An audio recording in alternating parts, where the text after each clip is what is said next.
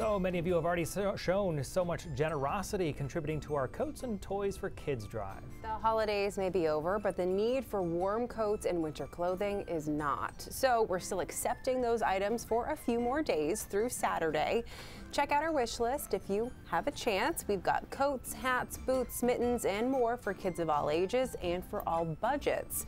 We've heard from so many of you about why you donate every year.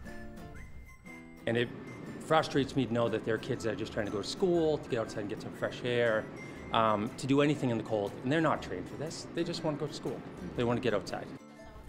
If you can afford to help, please check out our wish list at newscentermaine.com. You can also drop off new or gently used coats at Hannaford Shaw's and Pratt Abbott stores around Maine through this Saturday.